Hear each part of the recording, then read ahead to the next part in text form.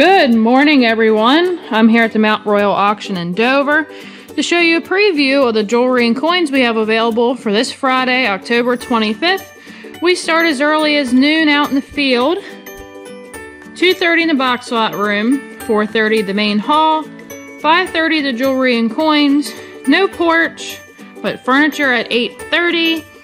And on Saturday, we have our hunting and ammo sale here at the Mount Royal Auction in Dover at 4 p.m. So I'll take you on a preview of the jewelry and coins for this week. We've got a variety of different earrings, bracelets, and watches, as well as some rings, mostly sterling.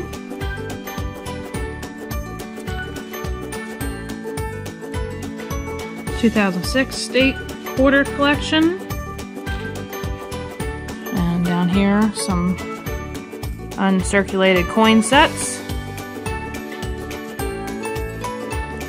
A variety of other coins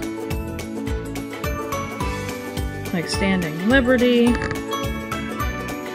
silver dollars, different pennies, a hundred red wheats, a statehood quarter collection, full binder, full silver, American Eagles,